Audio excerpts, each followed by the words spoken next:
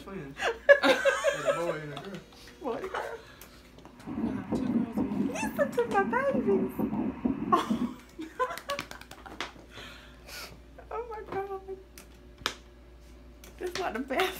I mean, it's the best thing I ever. feel like Christmas when I was a kid. Fine, This is man. We're gonna amazing. be fine. We're gonna be How far are we?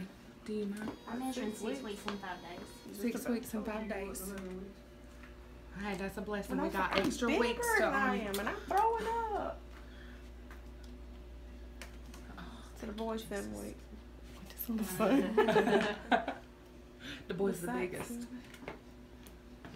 you crying for? I didn't want all these kids. She's like, I'm gonna be that person with all these youngins. Crying ain't got Renea, you are an awesome mama, and we're You'll be alright.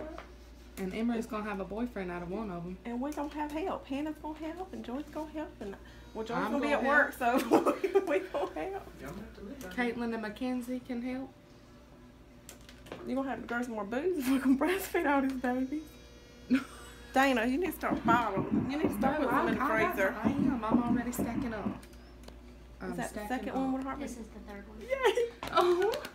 Oh my god! My legs are shaking. Oh my god. It's okay, Renea. Look around, we might find one more.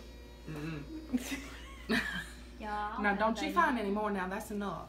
Now, I'm, you're gonna be fired. Oh my god. This happened. This didn't happen at the beach then. You want a girl, Ashley? Hannah? No, you can't. Have we don't know these yet. Well, we know one's a boy, got- one's a girl somewhere in there. Yeah, one's got. We got one. two. We What got the identical heartbeats? twins. They gotta be Identical. different. So baby A is gonna be in the sac by itself. So that's the Mhm. boy. So that's gonna be your sac, your baby by itself, okay? It's in this sac that's closest to the cervix. That's how we justify that's where it's at, okay? And then when you go to the second sac, the one that's closest to the cervix in the second sac is gonna be B and then C.